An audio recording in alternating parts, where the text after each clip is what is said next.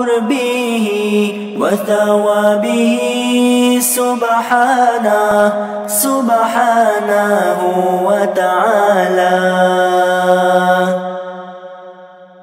نويت التعلم والتعليم والتذكر والتذكير والنفع والانتفاع والإفادة والاستفادة والحث على التمسك بكتاب الله وسنة رسوله والدعاء إلى الهدى والدلالة على الخير ابتغاء وجه الله ومرضاته وقربه وثوابه.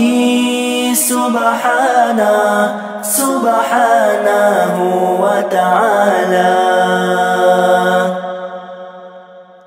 نويت التعلم والتعليم والتذكر والتذكير والنفع والانتفاع والإفادة والاستفادة والحث على التمسك بكتاب الله وسنة رسوله والدعاء إلى الهدى والدلالة على الخير ابتغاء وجه الله ومرضاته وقربه وثوابه. سبحانه سبحانه وتعالى. نويت التعلم والتعليم وتذكر والتذكير. والانتفاع والإفادة والاستفادة والحث على التمسك بكتاب الله وسنة رسوله والدعاء إلى الهدى والدلالة على الخير ابتغاء وجه الله ومرضاته وقربه وثوابه. سبحانه سبحانه وتعالى. نويت التعلم والتعليم والتذكر والتذكير والنفع والانتفاع والإفادة والاستفادة والحث على التمسك بكتاب الله وسنة رسوله والدعاء إلى الهدى والدلالة على الخير.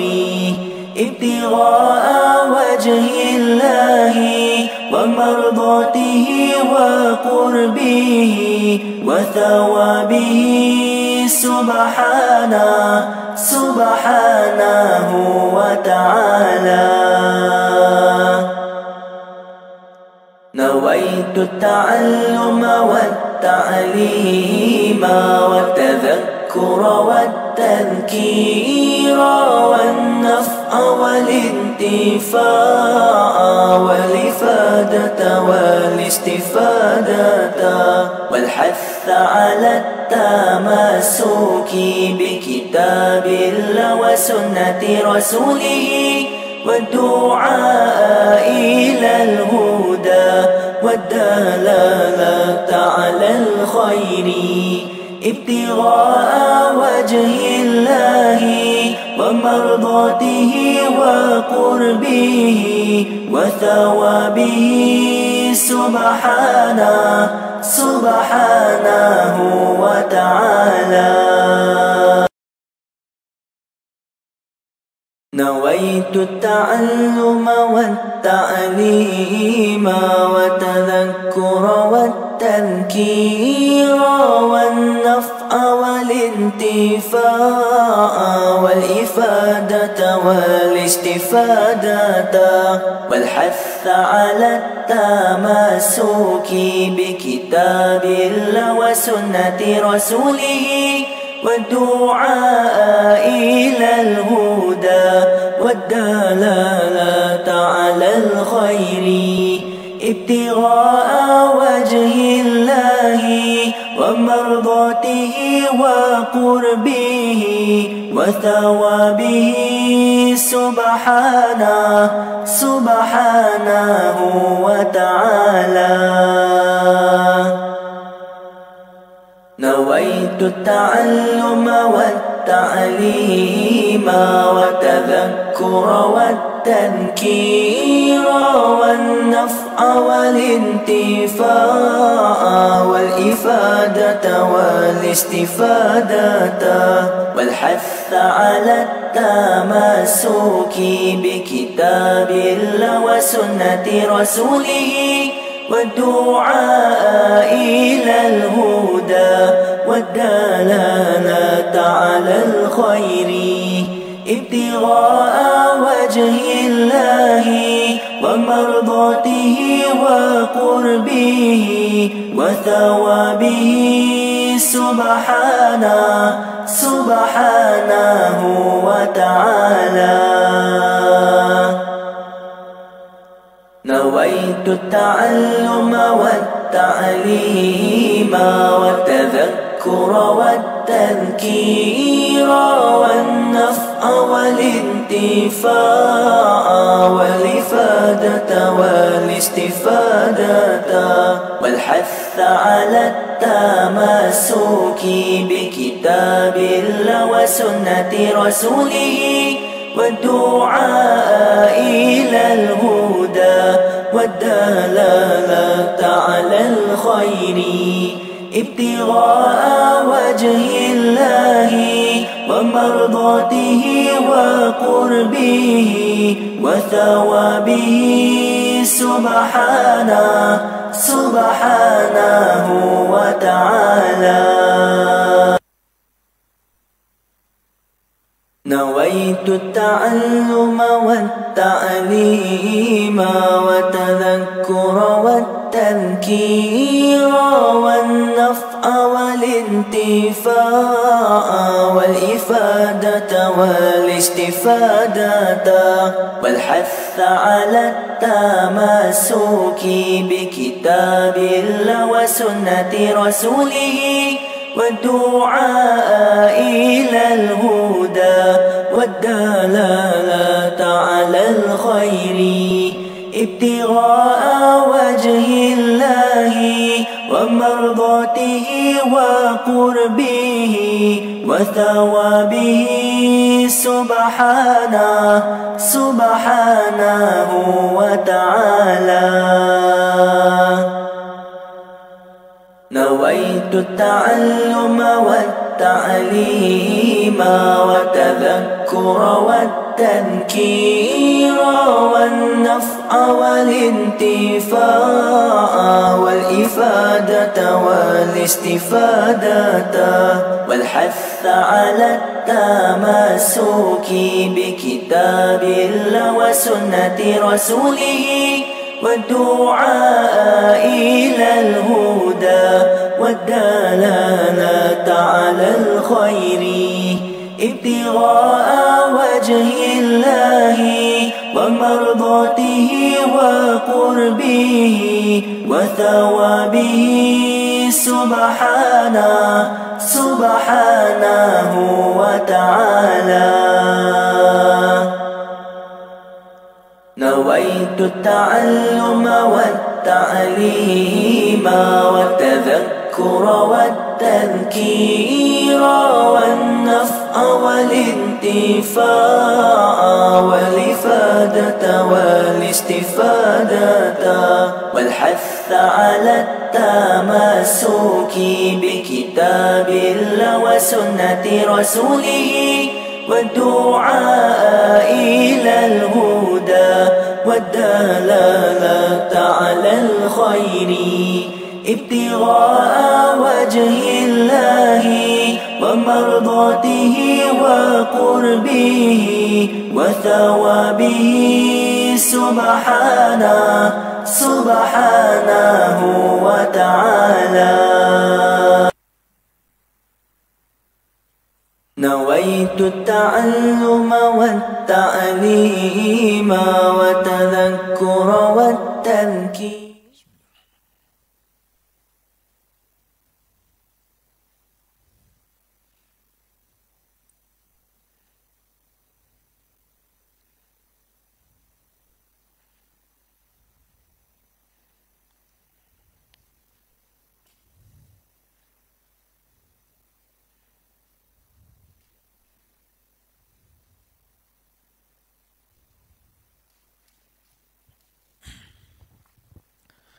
السلام عليكم ورحمة الله وبركاته.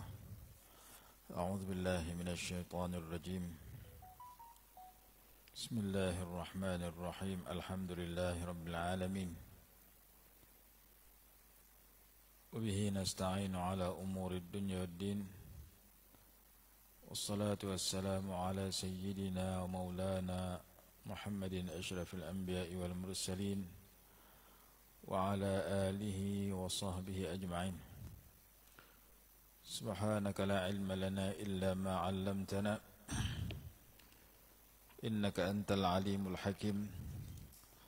رب اشرح لي صدري ويسر لي أمري واحلل عقدة من لساني يفقه قولي. ولا حول ولا قوة إلا بالله العلي العظيم. أما بعد.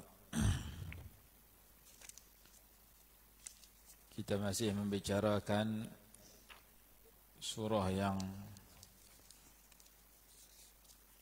kita sambung kemarin yaitu surah Al-Lail Wal-Laili idha yaghsha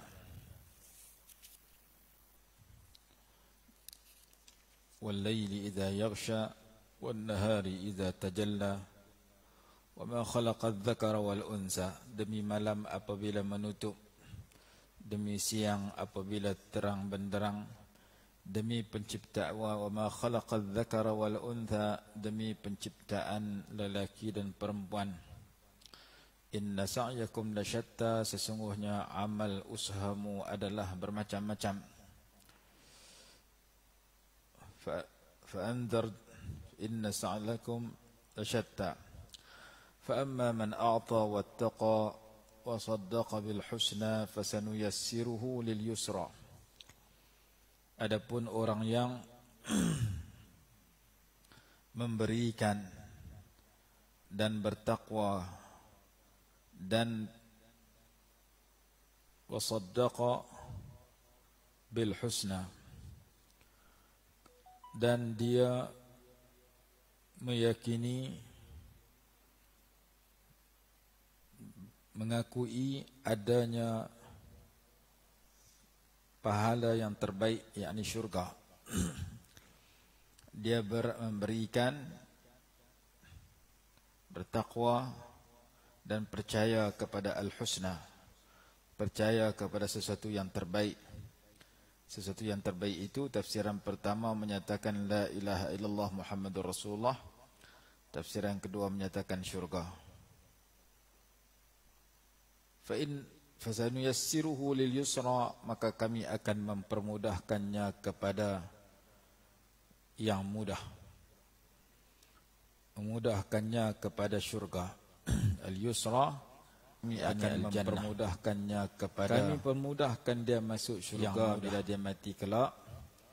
Apabila dia kepada syurga a'ta wattaqa Kami wa saddaqa bil husna. mempermudahkannya kepada kami permudahkan dia masuk syurga Yang kita rajin memberikan yang baik kepada orang bila dia kepada syurga. kita jaga perintah dan larangan Allah wa kita yakin kepada memudahkan dia masuk syurga kita rajin sesuatu yang terbaik baik. Kepada yakin kepada kepada syurga. kita jaga perintah dan larangan Allah ataupun yakin kepada balasan syurga. Tiga sifat ini sesuatu yang menyebabkan Fasadu yasiru lil yusra Kami akan mempermudahkan kepadanya balasan syurga memudahkan dia bagi syurga Kami memudahkan masuk syurga Fasadu yasiru lil yusra Ini sifat akan memperceritakan kita bicarakan Imam Yaitu Sayyidina Abu Bakar As-Siddiq radhiyallahu anhu Adapun sambungan dia wa masuk syurga Bakhila wastaghna wa kadzdzaba Ini sifat akan memperceritakan orang yang takut dan dia merasa cukup dia ini tidak berhajat kepada pahala bakhila wastaghna apa tak berjaya pahala ceritakan orang yang tidak istaghna an thawabihi dan dia merasa cukup. Kadzdzaba bil husna dan dia tak percaya kepada al husna tak percaya kepada la ilaha illallah dan Rasulullah pahala ataupun tak percaya kepada syurga Allah Subhanahu wa taala. Kadzdzaba bil husna dan dia tak percaya kepada al usra percaya kepada la ilaha kami akan mempermudahkan kepada bagi yang susah syurga Allah Subhanahu wa taala. Memudahkan kepada neraka yughni anhu ma kada taradda dan tidak manfaat syurga Allah hartanya apabila dia menghadapi kesengsaraan dalam keadaan dan tidak apabila dia binasa hartanya jatuh kepada binasa kebinasaan hartanya tidak ambil manfaat daripadanya pada ketika itu yang ini saya kisah Umayyah ibn Khalaf jatuh kepada binasa alaihi la'natullah. Syirikah yang menjadi penentang kepada Nabi SAW yang ini saya kepada Abu Jahal yang menyiksa Sayyidina Bilal alaihi radhiyallahu anha. Radhiyallahu anha yang tentang dia tidak percaya kepada Allah dan Rasul dan dia yang tidak percaya kepada balasan radhiyallahu yang dijanjikan oleh Allah Subhanahu wa taala.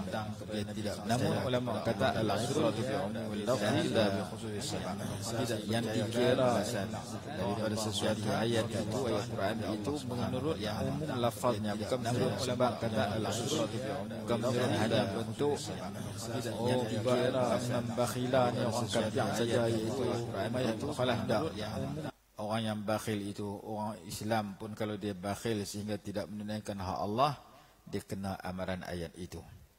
Jadi ayat ini cerita walaupun kita sudah Islam tapi kita kena ambil tiga sifat yang mula duduk kat kita. Sifat pertama a'ta memberikan. Sifat yang kedua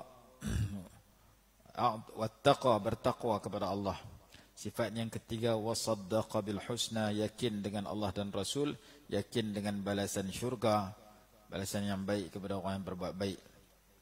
Jangan bagi ada tiga sifat yang kedua tu kat kita. Sifat pertama bakhila, bakhil kedekut. Sifat kedua wastaghna, merasa cukup, merasa kaya, tak berhajat kepada pahala, tak perlu kepada sesiapa. Sifat ketiga wa kadzdzab bil husna tak percaya dengan yang terbaik tak percaya tak yakin dengan balasan syurga kepada orang buat baik tak yakin kepada Allah dan Rasul. Orang ni dipermudahkan kepada susah susah dunia susah dalam alam akhirat. Susah alam akhirat nama dia neraka. Susah di dunia susah dalam kehidupan dia jadi ayat yang pertama, tiga sifat pertama dipermudahkan kepada kesenangan al-yusra. Yang kedua dipermudahkan kepada keburukan dan ke, ke kesiksaan iaitu al-usra. Kita mau janji fasanu yassiruhu lil yusra, kami akan mempermudahkannya kepada yang mudah itu mai kita, maka kita perlu mengenali bahawasanya kita kena ada tiga sifat yang lalu. Memberikan bertakwa dan yakin kepada balasan terbaik kepada orang-orang yang baik. Jangan bagi kena tiga sifat yang buruk bakhil kedekut. Wastaghna tak berhajat. Istaghna ni orang rasa tak eh, cukup tak berhajat kepada kebaikan. Dan dalam surah yang mula-mula turun tu Allah Taala sebut kalla innal insana la yatgha ar-ra'ahu istaghna.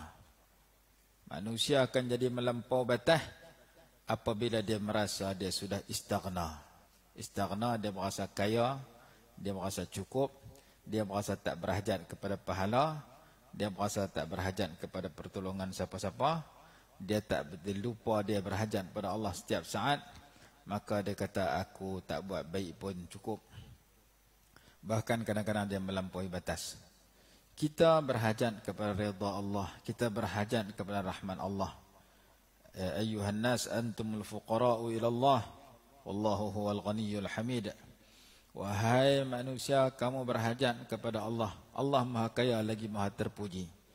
Bila kita tu berhajat kepada redha Allah, Allah Ta'ala kata, Aku redha kepada kamu, kalau kamu menjadikan manusia-manusia yang baik juga redha kepada kamu. Contoh dia redha Allah fi ridha walidain. Keredaan Allah diperolehi apabila kita mendapat redha daripada ibu dan ayah kita. Ha, keredaan Allah diperolehi bila kita dapat redha daripada orang baik-baik. Mak ayah kita orang baik yang pernah berjasa kepada kita kita kena dapatkan redha mereka. Kalau mereka masih hidup, cara masih hidup. Kalau mereka sudah mati, cara sudah mati. Yang penting kita buat benda yang menyukakan mak ayah kita. Mak ayah kita dah mati masuk kubur. Dia masih dia suka anak-anak yang dia tinggalkan anak-anak yang bertakwa kepada Allah, anak-anaknya orang-orang yang baik. Jadi ayat yang kita bacakan hari ini yang kita sambung kemarin menceritakan tentang at-taqwa, menceritakan tentang a'ta, menceritakan kepada berhajatnya kita kepada al-yusra. Berhajatnya kita kepada saddaqa bil husna, percaya kepada apa yang Allah janjikan. Maka kami mempermudahkannya kepada syurga. Bahkan ada ulama menyatakan perkataan syurga ini ada secara hakikat, ada secara pinjaman. Secara hakikat syurga itu syurga yang sebenar yang kita harapkan di, di akhirat kelak. Sementara secara pinjaman ada syurga yang sudah wujud di dunia ini. Karena syurga ini tempat yang bahagia. Syurga ini tempat yang bahagia, tempat yang menggembirakan. Tempat yang menggembirakan itu yang sebenarnya di akhirat.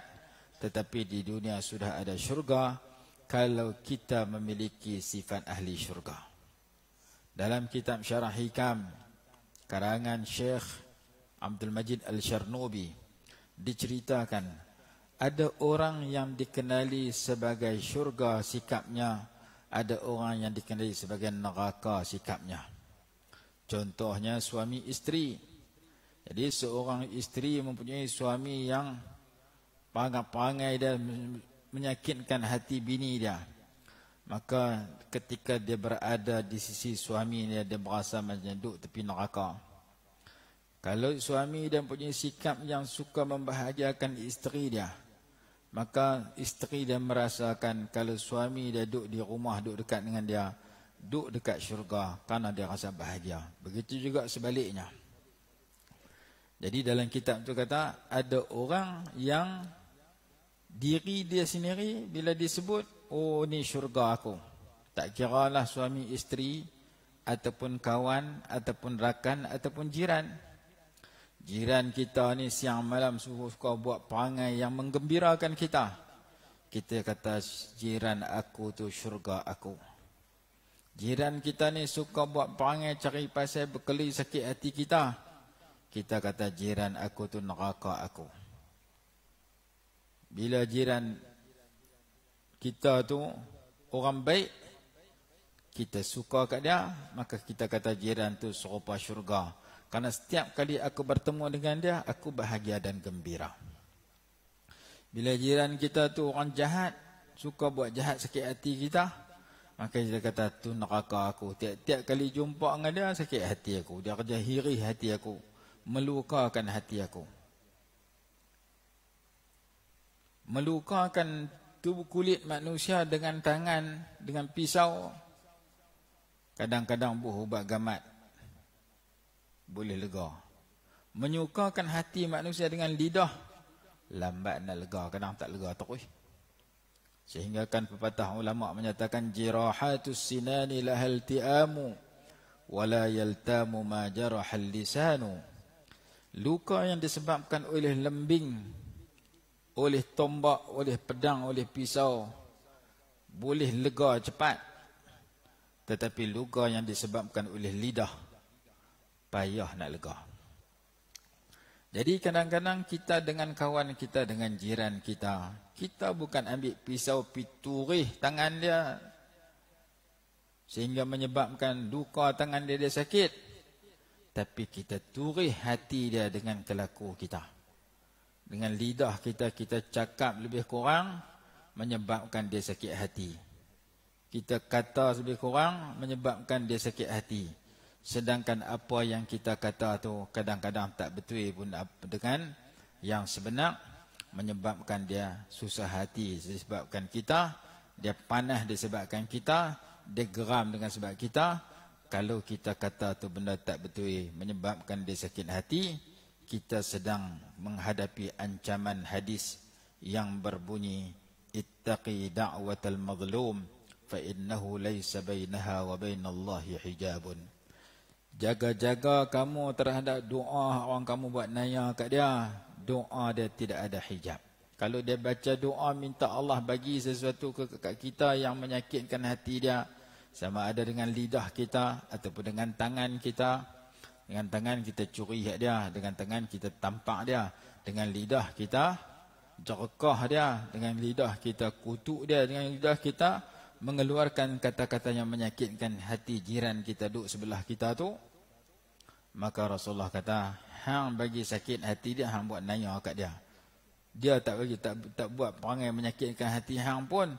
Hang yang cari pasal bagi sakit hati dia, hang buat naya kat dia. Kalau dia doa kat Allah, Allah dengar doa dia. Inilah pesanan Nabi SAW kepada Sayyidina Mu'ad bin Jabal radhiyallahu anhu ketika nak hantar pergi Yaman. Wahai Mu'ad, kamu nak pergi jadi tuk guru di Yaman. Oh kamu nak mengajak orang di Yaman, nak ajak orang mengucap dua kalimah syahadah, nak ajak orang puasa bulan Ramadan, nak ajak orang keluar zakat, kamu ni wakil aku ni. Anta Rasul al Alhamdulillahilladzi waffaqa Rasul Rasulillah SAW. Kalau apa yang berlaku di sana kamu nak rujuk apa? Rujuk Quran. Kalau tak ada Quran, rujuk hadis. Tak ada hadis, aku nak berijtihad dan aku tidak akan cuai dalam berijtihad. Maka Rasulullah suka dengan jawapan itu dan Rasulullah bersabda segala puji bagi Allah yang telah memberi taufik kepada utusan kepada Rasulullah SAW kepada Muaz ini. Di hujung pesanan Nabi SAW, ittaqi da'watal mazlum. Wahai Muaz, jaga kamu nak bergaul dengan orang di Yaman ni, ramai yang jadi yang mengaji ke kamu, yang nak bergaul dengan kamu, kamu jangan buat naya kat mereka. Kamu jaga kalau kamu buat naya kat depa, depa doa depa senjata mereka yang paling tajam, yang paling manfaat, yang paling baik ialah doa. Kerana orang kena naya ni doa dia Allah Taala tak akan tolak. Maka hadis ini ajak kepada kita dalam pergaulan kita dengan sesiapa sahaja, dengan bini kita, dengan anak kita, dengan, dengan jiran kita, dengan kawan kita, jangan kita terlibat dengan buat naya kat orang. Buat naya bukan nanti pergi curi duit dia. Bukan naya bukan nanti pergi duku kepala dia, pergi tampak dia. Buat naya kat dia apabila kita menyakitkan hati dia. Mungkin dengan lidah kita, dengan kelaku kita. Ah, kita menyakitkan hati dia dengan lidah. Walaupun ibadat kita banyak, walaupun ilmu kita banyak, jatuh darjat kita di sisi Allah dan Rasul. Jatuh darjat kita di sisi masyarakat dan manusia berdasarkan hadis di dalam musnad Imam Ahmad ketika ditanya oleh para sahabat kepada Nabi SAW tentang kedudukan seorang perempuan yang rajin qiyamul lail tiap-tiap malam yang rajin puasa sunat setiap hari tetapi dia suka menyakitkan hati orang sebelah dia jiran dia dengan lidahnya. Nabi SAW menjawab tidak ada sebarang kebaikan kepada perempuan itu dia masuk neraka. Hadis ni ajak kat kita walaupun ilmu kita tinggi walaupun ibadat kita tinggi tapi lidah kita kita tak jaga. Menyakitkan hati orang sebelah kita. Jiran tu tak kira lah bini kita ke anak kita ke. Orang yang yang duduk dekat dengan kita yang ada pergaulan dengan kita hari-hari ke seminggu sekali ke sebulan sekali kita suka guna lidah bagi dia sakit hati dengan kita sama ada kita kutuk dia kita jerkah dia kita maki dia ataupun kita mengumpat kat dia ataupun kita jilan lidah kat, kat dia cakap tak jilan lidah yang penting lidah ke perempuan itu digunakan menyakitkan orang sebelah jiran dia. Rasulullah kata tidak ada sebarang kebaikan kepada perempuan itu dia masuk neraka. Hadis Imam Ahmad disebutkan oleh pengarang kitab Ihya dan ringkasan Ihya Mau'izatul Mukminin karangan Syekh Jamaluddin Al-Afa Jamaluddin rahimahullahu taala Al-Qasimi.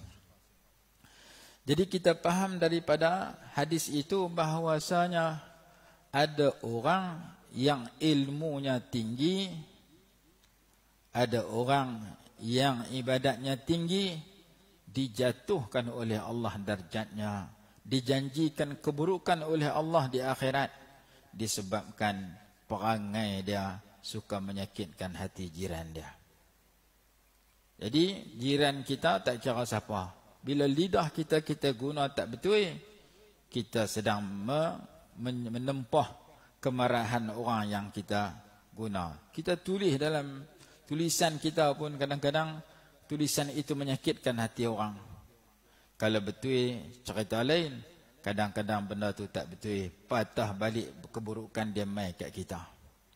Macam hadis kata kalau kita tuduh seorang tu fasik tiba-tiba kau tu tak fasik maka kefasikan itu patah balik mereka orang tuduh. La yarmi rajulun rajulan bil fusuq wala bil kufri illa irtaddat alayhi illam yakun sahibuhu kadhalik tidak menuduh oleh seseorang akan seseorang dengan tuduhan fasik dengan tuduhan kufur melainkan patah balik sifat yang dia tuduh kepada diri dia. Kalau orang yang dia tuduh tu tak betul. Maka Islam mengajar kepada kita bahawasanya penilaian diri kita adalah orang yang baik ataupun buruk. Jangan kita nilai melalui perasaan dan dan sikap diri kita sendiri. Tapi kita kena nilai melalui penerimaan orang yang kita gauli sama kalau dia seorang suami bini dia nilai dia lagu mana kalau dia seorang isteri suami dia nilai dia lagu mana kalau dia seorang jiran, jiran dia nilai lagu mana? Kalau dia seorang pelajar, guru dia nilai macam mana? Kalau dia seorang guru, pelajar dia nilai lagu mana? Kalau seorang pelajar sekolah, ibu bapa nilai guru tu dengan pelajar sekolah lagu mana? Yang tu ada nilai di sudut pandangan Allah Subhanahu wa taala. Nabi SAW bersabda, "Antum syuhada'ullahi fawqal ard." Orang ramai merupakan saksi Allah di atas muka bumi. Jadi yang menyaksikan kita ni baik ataupun buruk, sifat kita menuju syurga ataupun neraka, sifat kita dikatakan ahli syurga ataupun ahli neraka, bukan sahaja panduan ilmu yang kita baca, tetapi panduan persekitaran yang kita hadiri. Baik itu dalam syarah hikam kata, ada orang suami yang bini dia kata, neraka aku balik dah rumah. Pasal apa? bila lelaki dia balik ada saja benda yang menyakitkan hati bini dia yang akan dilakukan oleh suami dia kadang-kadang sebaliknya bila lelaki dia nak balik nak balik rumah dia kata syurga aku nak balik dah kerana dia setiap kata-kata dan perbuatan dia membahagiakan aku macam aku duduk dalam syurga sehingga akan timbul istilah baiti jannati rumahku syurgaku rumah aku syurga aku timbul istilah orang duduk dalam rumah macam duduk dalam syurga Kenapa? Kerana penghuni dalam rumah itu membahagiakan orang yang duduk dalam rumah tu. Sama ada dalam rumah tu dua orang kawan, dalam rumah tu dua orang suami isteri, dalam rumah tu anak dengan mak ayah, tak kira. Maka rumahku syurgaku itu kadang-kadang ada dalam rumah, kadang-kadang ada tepi rumah. Sebaliknya rumah aku negara aku, rumah aku itu neraka, ada dalam rumah, ada tepi rumah kita sendiri nak kena proses sikap kita itu sesuai dengan yang disebut dalam ayat fasanu yassiruhu lil yusra. Kami mempermudahkan dia kepada jalan syurga. Maka ulama kata dalam kita dalam kita bergaul dengan masyarakat kadang-kadang ada sikap kita yang disebut sebagai syurga kerana sikap kita itu membahagiakan orang lain dan ada sikap yang disebut sebagai neraka sifat sikap itu memburukkan orang lain dan memburukkan dirinya. Contoh wa amma man bakhila wastaghna.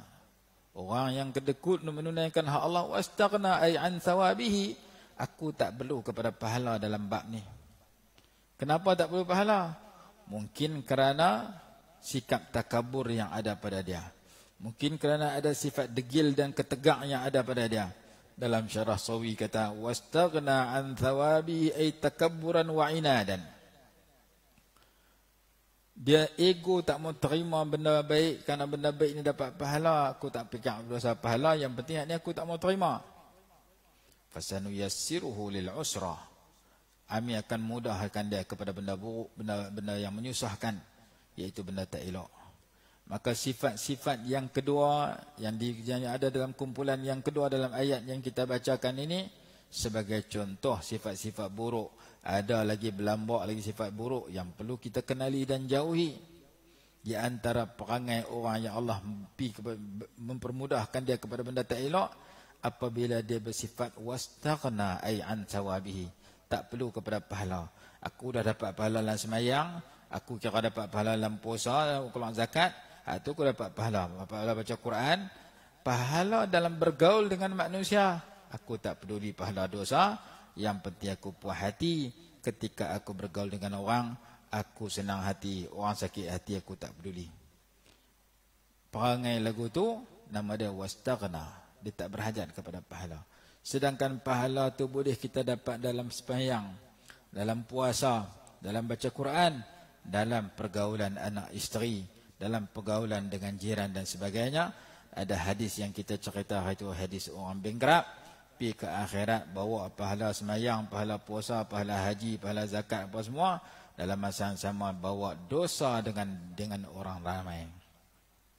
Wa daraba hadza de pukul kawan ni. Wa syatama hadza de kutuk kawan ni. Wa akhala wa akhadha mala hadza de ambil harta kawan ni. Dia melukakan darah diri kawan ni. Dia pi ke akhirat bawa ibadat berlambak-lambak bawa kesalahan dalam pergaulan dengan manusia pun berlambak. Yang akhirnya pahala kebaikan dia habis pupus jadi kosong disebabkan duk ambil pahala pi bagi ke orang dia buat nanya dia menyakiti kawan tu. Menyakiti dengan kata-kata menyakiti dengan perbuatan menyakiti dengan sikap wa akhadha mal hadha menyakiti dengan ambil hak orang. Sehingga habis pahala dia. Orang yang dia buat naya masih berbaki maka dia ambil dosa orang yang buat naya buh kat dia maka dia masuk neraka jadi bankrupt hadis ini mengajak kepada kita kita fikir nak pergi akhirat. Mungkin kita pergi hari ini daripada kita mati hari ini mungkin kita pergi esok. Kalau kita mati esok mungkin kita akan bagi pergi lima tahun lagi. Kalau kita mati lima tahun lagi Pi akhirat jangan bawa dua-dua. Pahala semayang pun aku bawa. Dosa berkeliling orang pun aku bawa. Pahala puasa aku bawa. Dosa kutuk orang pun aku bawa. Dosa yang berkait dengan dengan manusia. Sama naik dengan ibadat dia buat. Supaya kita tahu bahawasanya tekat kita ibadat banyak tapi kejahatan kita tak tinggal dalam pergaulan kita dengan orang. Ada saja benda kita nak bagi sakit hati orang yang tu ibadat kita belum ada kesan yang positif yang sebenar. Habib Ali Al-Jufri hafizahullah dia kata, kalau kita betul menuntut ilmu ibadat kita sempurna, kesan di antaranya ialah kita berkelakuan baik di antara tanda orang berkelakuan baik dia bersifat belas kasihan kepada orang yang dia gauli. Ha, aku dah boleh semayang dah, kau ni tak semayang ni kesian kat dia tak boleh semayang, semayang tak cukup. Ya Allah ya Tuhanku berikan taufik dan hidayah kepada kawan sebelah aku, jiran sebelah rumah aku yang dia tu semayang pun tak Aku syukur boleh semayang cukup lima waktu. Kawan aku kesian kat dia tak semayang. Kita doa dia dapat petunjuk Allah. Kita bergaul dengan baik. Kita senyum dengan dia. Kita bagi salam kat dia. Kita ambil hati dia. Walaupun kita tahu dia ni tak nak semayang semua hidup. Karena satu dakwah kita. Dia kawan tu kata, aku tak nak semayang.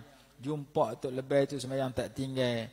Tapi dia tak pandang hina kat aku. Dia jumpa, dia senyum kat aku. Dia bagi salam kat aku kita doa pula kebaikan kepada dia kerana salah satu sifat orang ahli ibadat ialah bersifat rahmah belas kasihan kepada orang lain kita kesian kat kita diri kita tak mau bagi Allah murka tak mau bagi Allah benci kita jaga kehubungan kita dengan Allah Allah Taala ajak dengan aku saja tak cukup hampa kena jaga dengan masyarakat sama kena jaga dua pihak dengan Allah kita jaga dengan makhluk kita jaga. Makhluk tu sama ada isteri kita, suami kita, anak kita. Makhluk tu jiran kita, kucing yang kita belah. Tak kira. Yang penting, orang yang baik, yang disebut sebagai as-salihin, yang didoakan oleh seluruh umat Islam dalam semayang, dalam tasyahud awal, tasyahud akhir. Assalamualaikum wa ala ibadillahi salihin. Orang salih, orang baik ini, dia dijaga dengan Allah, dia jaga dengan manusia. Dia jaga dengan makhluk jaga dengan Allah dengan manusia tak jaga dia bukan orang baik lagi as-salih alladhi yuaddi huquq Allah kama yanbaghi wa yuaddi huquq an-nas kama yanbaghi orang baik itu orang yang menunaikan kewajipan dia terhadap Allah sebagaimana yang sepatutnya. Mempunyai akidah yang betul mempunyai ibadah mempunyai ibadat yang betul mempunyai akhlak yang mulia. Dalam masa yang sama dia menunaikan kewajipan dia tanggungjawab dia terhadap makhluk manusia sebagaimana yang sepatutnya jadi jaga dengan Allah jaga dengan manusia baru jadi orang baik.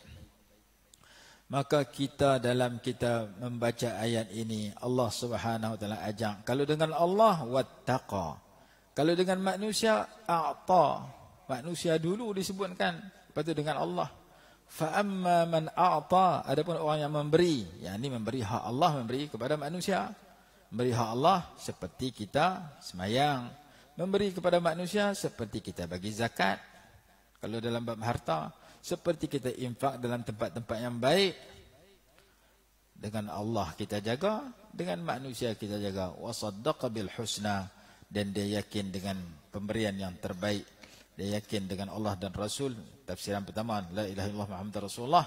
Tafsiran yang kedua yakin dengan syurga. Orang ini kami mempermudahkannya kepada syurga syurga yang sebenar di akhirat dan syurga pinjaman di dunia syurga pinjaman maksudnya kita duduk dalam kebahagiaan di dunia sebab kita suka memberikan kepada tempat baik sebab kita suka bertakwa sebab kita yakin dengan balasan baik yang Allah janjikan kepada orang baik Orang yang buat dengan tiga perkara ini kami mempermudahkannya kepada syurga. Jadi syurga itu kata ulama syurga di dunia, syurga di akhirat. Syurga di dunia masuk Islam. Mengucap dua kali masyahadah. Syurga di dunia apabila kita duduk dalam kebahagiaan. Dan kebahagiaan ini diperoleh melalui dua cabang yang kita jaga. Yang pertama jaga dengan Allah. Yang kedua jaga dengan makhluk Allah. Jaga dengan makhluk Allah kita duduk dalam syurga, duduk dalam bahagia. Tapi dalam kita duduk jaga kadang-kadang jumpa juga benda yang kita tak tak suka. Dalam surah Ali Imran kata kalau kamu jumpa orang perangai kamu tak suka, kamu baca hasbunallah wa ni'mal wakil. Hasbunallah wa ni'mal wakil. Cukuplah Allah sebagai Tuhan kami. Allah itu sebaik-baik tempat aku berserah. Sebaik-baik sebab aku bergantung. Aku sebagai seorang isteri dah buat baik sungguh-sungguh kat bin laki aku laki aku duk cari pasal duk jerakah aku maki aku kutuk aku. Laki aku ni sini tak boleh dengar tak boleh tegur tegur sikit dia melenting dia marah kat aku. Aku dah sebagai seorang isteri dah cakap baik dah buat baik nasihat baik. Laki aku pongweh tak ketahuan hala. Dia suka cakap benda menyakitkan hati aku.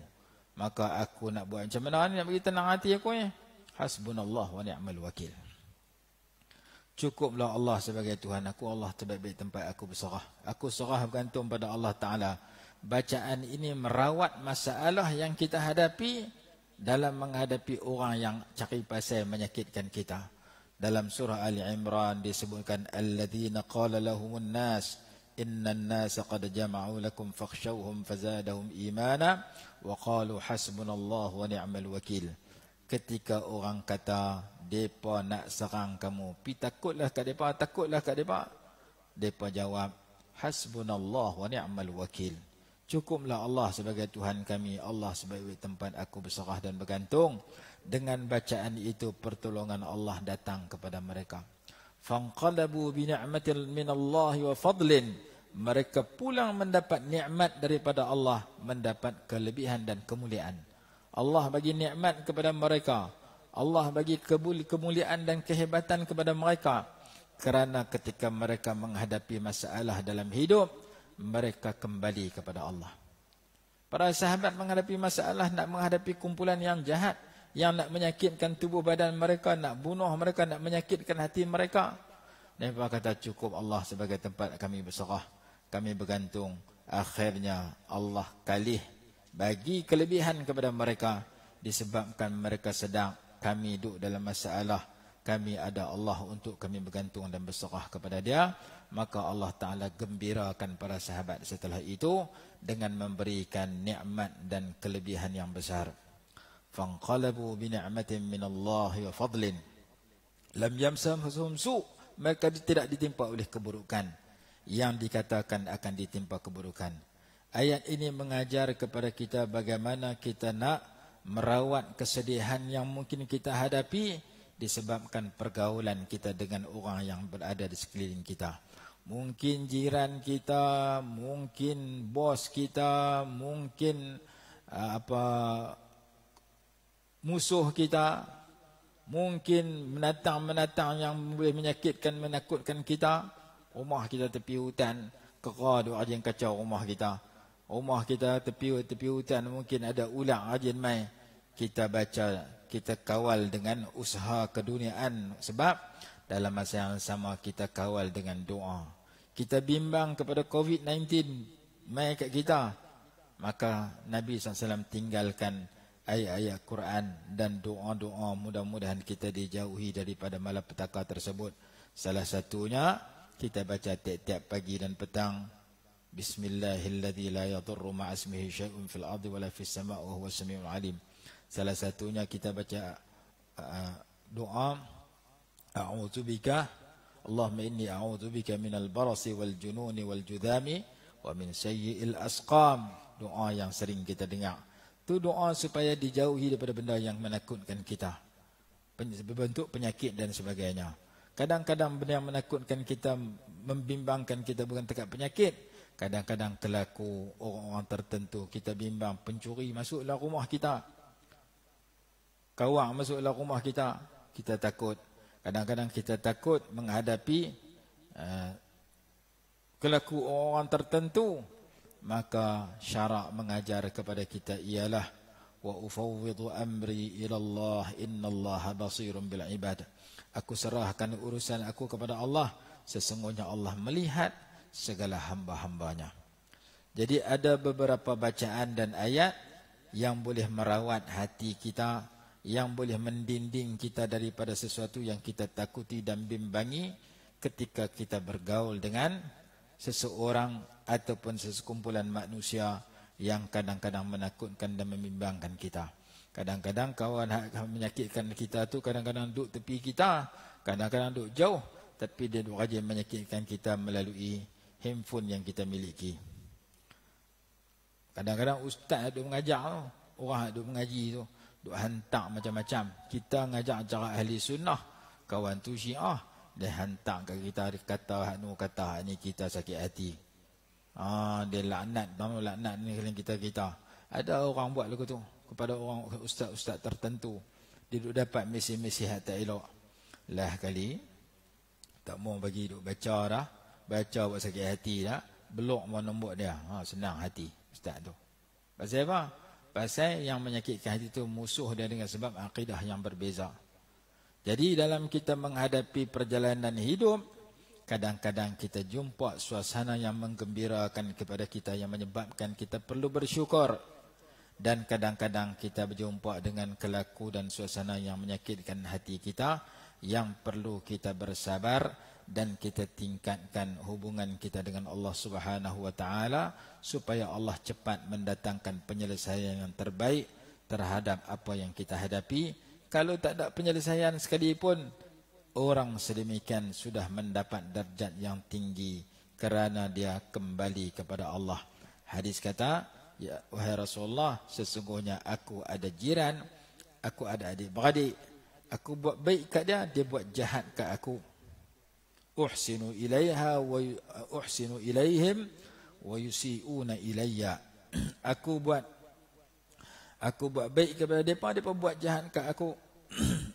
aku uh, memberi kepada mereka, mereka tak memberi kepada aku. Aku menghubungkan silaturahim dengan mereka, mereka memutuskan kepada aku. Macam mana nak buat? Kita baca hadis itu dalam bab sabak dulu. Aku ada adik beradik. Asiluhum wa yaqta'unani. Aku berhubung menghubungkan silaturahim, jaga hubungan silaturahim menghubungkan dengan depa. Depa kerja memutuskan daripada aku. Uhsinu ilaihim wa yusiuna ilayya. Aku kerja buat baik kat depa depa kerja buat jahat kat aku. Aku buat aku hubung depa bagi putus aku buat baik depa buat jahat. Aku buat benda-benda yang elok depa buat benda tak elok kat aku. Maka nabi SAW kata sabda kalau begitulah sikap kamu la yazalu laka minallahi zahirun. Allah pasti akan memberikan pertolongan. Allah pasti akan memberikan yang amat istimewa kepada kamu. Kerana kamu menghadapi orang tak bagus dengan sifat bagus yang kamu pamerkan. Uhsinu asiluhum wa yaqta'unani uhsinu ilaihim wa yusiuna ilayya. Aku hubung dengan depa depa bagi putus dengan aku. Aku buat baik dengan depa depa buat jahat kat aku. Itu hadis yang kita baca hari itu. Maka hadis ini mengajak pada kita bahawasanya dalam kita menghadapi kehidupan, kita kena sedang bahawasanya apa yang kita buat baik itu, Allah Ta'ala janjikan fasanu yassiruhu lil yusra dan sekiranya seorang itu bersifat bakhila wastaghna wa kadzdzaba bil husna fasanu yassiruhu lil usra. Kemudian sambungan ayat kalau dia ditimpa keburukan usaha dia harta dia tidak bermanfaat pada ketika itu sambungan ayat sesungguhnya kami menjelaskan kepada mereka petunjuk wa innalana lal akhirata wal ula milik kamilah akhirat dan dunia fa anzartukum naran talazza aku beri amaran kepada kamu kepada api yang menyala-nyala.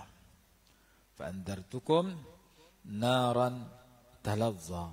Maka aku peringatkan kamu dengan dengan neraka yang menyala yang menyala-nyala apinya. La yashal la yaslaha illa al-ashqa tidak akan masuk neraka melainkan orang yang paling celaka.